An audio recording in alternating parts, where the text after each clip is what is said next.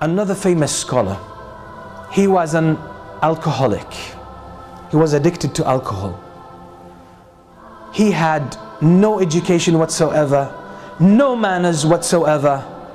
He was one of the worst people, the worst youth in his community, in his town. And one day, he was drinking alcohol with a group of his friends and he had he was the only one who would hold the bottle in his hand in public and drink. This is how shameless he was. This is how low his level of morality he had at the time. So he saw that group of people, people gathering around one man who was on, on his donkey. A huge number of people gathering around him. They seemed to respect him, speak to him, and everyone wanted to, ha- wanted to converse with him. So that created some curiosity. He wanted to know who this man is and why these people are so keen to speak to him. So he went there and he came close to that man and he held, or he stopped the donkey and he said, Who are you? This is how shameless he was. This is, it's that kind of character that he was. Who are you? People around said, This is a sha'bi. This is an Imam al-Sha'bi. He said, Who's a Sha'bi? He said, Who's a Sha'bi? What does he do? They said, He's a muhaddith. What does it mean to be a muhaddith? They told him he's someone who narrates the hadith of the Prophet ﷺ. He memorizes it, he teaches it. That's what he does. He said, Okay, if you are a muhaddith, then narrate one hadith for me. Give me a hadith. Now, this Imam, and that's what the people of knowledge, oh, this is how they should be. He could read the situation and he could read that man. So he wanted to give him something suitable for him. So he narrated a hadith to him.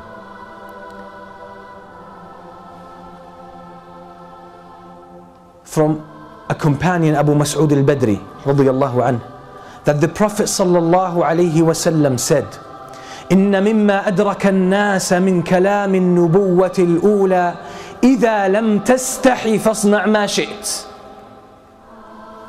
Reported a hadith from the Prophet sallallahu alayhi wasallam that he said if you don't have shyness if you don't have this quality of bashfulness then you can do whatever you wish because there's nothing to stop you from doing shameless things. That moment, the heart of this man was open. So the word went straight into his heart. And after that, he decided to change. He decided to change his whole life. So he left his past behind and he went to the famous Imam, Imam Malik ibn Anas, the Imam of Medina. He went to him and he studied under him and he learned hadith from Imam Malik. And this man, this very man who was an alcoholic, is the teacher of Al Bukhari and Muslim. He became the teacher of Al Imam Bukhari and Muslim. His name is Abdullah ibn Maslam al Qa'nabi. Famous, one of the most famous scholars of hadith, was an alcoholic was someone who had no manners whatsoever, no respect for anyone, that he would drink alcohol in public. And when he studied for long years under Imam Malik, he said, I need to see the person who was the reason for me coming to this way, to guidance. So he decided to travel to Al Basra, where Shabi was. So he goes there. As soon as he arrives, he finds out that Imam Shabi had already passed away. What is the lesson that we take from this story as well? That life is about change. So it's your mission, it's your responsibility to change and never want or never wait for anyone to change you. It should be your own thing.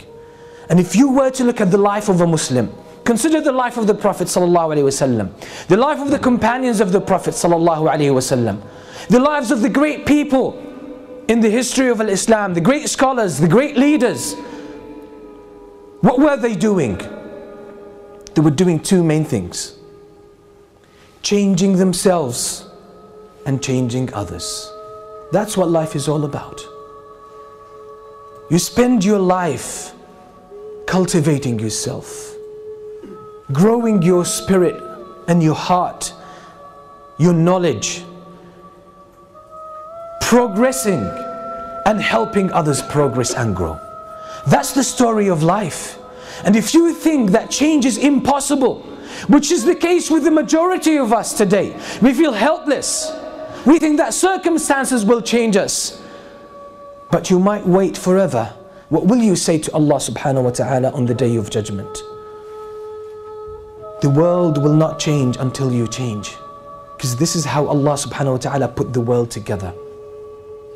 Allah subhanahu wa ta'ala says, إِنَّ اللَّهَ لا يغير ما بقوم حتى يغيروا ما بأنفسهم Indeed, Allah does not change the state of a people until they have changed what's in themselves. When we see the Muslims suffering today, in all Muslim countries, until we change ourselves, until we are willing to wake up for Fajr and come to the masjid, until we are willing to give up our bad habits, until we are willing to dedicate some of our time for the sake of Allah subhanahu wa ta'ala, until we are willing to go the extra mile for the sake of Allah, get out, out of our comfort zone, only then things will change. Because everything is linked together. The Prophet ﷺ told that to the companions many a times that you need to be aware of this reality. This world, this universe is connected together. You fall in a sin and you will see the consequences of this. Could be 20, 30 years later. Or maybe it will affect the ummah in another corner of the globe, in the globe. You don't see it, but this is how the dynamics of this world works. Why was the Prophet ﷺ sent to this earth with this message? What did he do? he changed the people. Because the Arabs at that time, before the message was given to the Prophet ﷺ, were the lowest ummah, divided amongst themselves, killing one another, worshipping stones, doing filthy things. Yet when the Prophet ﷺ came, 23 years they became the ummah number one on earth. And the momentum was still there. And the Muslim nation, Muslim Ummah expanded all over the globe, from China to Morocco to Spain. All of this was because of the change initiated by the Prophet. We still live on that legacy, on the remains of that legacy. We still live on that momentum. So we need to take, life seriously. You need to wake up wake up from the state of heedlessness. If you feel good about yourself, that you pray a couple of prayers a day, or I pray the five daily prayers, but you do different things, you're happy about that, you're proud about yourself, wake up to the reality that no matter what you do for the sake of Allah, it's never enough. You should grow day in and day out. You should be growing. The moment you decide to stop, you're, you're being drawn downward by shaitan. You need to wake up to the reality. Don't say, oh, I give sadaqah. I give a hundred pounds a year every now and then. I pray for the sake of Allah. I fast Ramadan. What, what more than that does Allah want from me? No matter what you do, it's never enough. Because you can never pay Allah back.